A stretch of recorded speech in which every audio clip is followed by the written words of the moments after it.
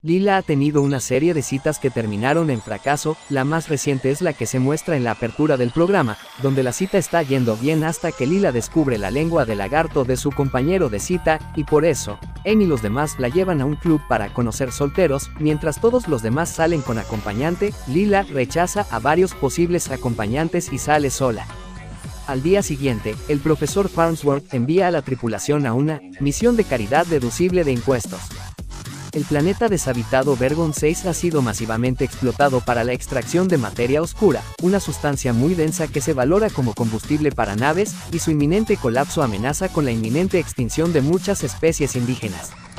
Farnsworth instruye a la tripulación para recuperar dos de cada tipo de animal nativo del planeta para la cría, emulando al arca de Noé. Cuando el equipo llega al planeta, se encuentran con un cordón de seguridad puesto en marcha en todo el planeta por la nave Nimbus, que Lila reconoce como el buque insignia del famoso capitán espacial Zap Brannigan. Al acoplarse con el barco y subir a bordo, la tripulación de Planet Express provoca cierto pánico en la tripulación del Nimbus, pues se teme una posible invasión. Cuando las órdenes de Lila desafían a las de Zap luego de este le exhorta que se mantenga alejada de Vergon 6, Zap echa a la tripulación de Planet Express en la cárcel. Por la noche, Zap convoca a Lila a sus aposentos, donde ella rechaza sus pobres intentos de seducción. Cuando Lila declara que preferiría estar en la cárcel que pasar una noche con el Zapper, Zap rompe a llorar, diciendo que él se siente solo en su trabajo y que él tenía la esperanza de Lila, una capitana colega de él, lo entendiera. Abrumada por la pena, Lila finalmente tiene relaciones sexuales con Zap, pero despierta la mañana siguiente con horror después de darse cuenta de lo que ha sucedido.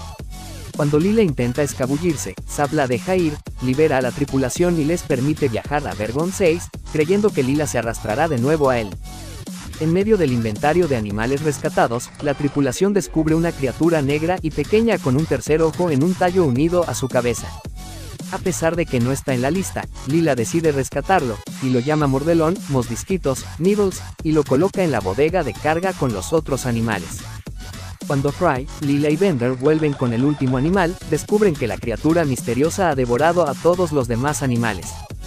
El planeta comienza a derrumbarse, y cuando el equipo trata de escapar, descubren que la nave se ha quedado sin combustible. Después de admitir lo que sucedió la noche anterior, Lila inicialmente se niega a pedir asistencia alguna a Zap Brannigan, pero cede finalmente, con el fin de salvar a su tripulación. Zap dice que solo les ayudará si se deshacen de Nibbler, por lo que Lila rechaza su oferta y le dice que fuera. Sin ninguna esperanza aparente de rescate, la tripulación se resigna a la muerte. Nibbler, a continuación, excreta una pequeña bolita de materia oscura, lo suficiente para que el buque pueda escapar del planeta. Mientras Vergon 6 implosiona, el equipo regresa a la Tierra, mientras que algunos de los animales nativos llegan a encontrar refugio en los asteroides cercanos.